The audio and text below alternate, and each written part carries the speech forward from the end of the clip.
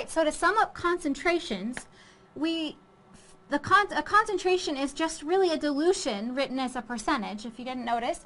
Um, and to find the final concentration of a concentrate that we've diluted, we take the percent of the concent original concentration, multiply it by the dilution, and that gives us the new percent concentration or the new concentration in our new solution.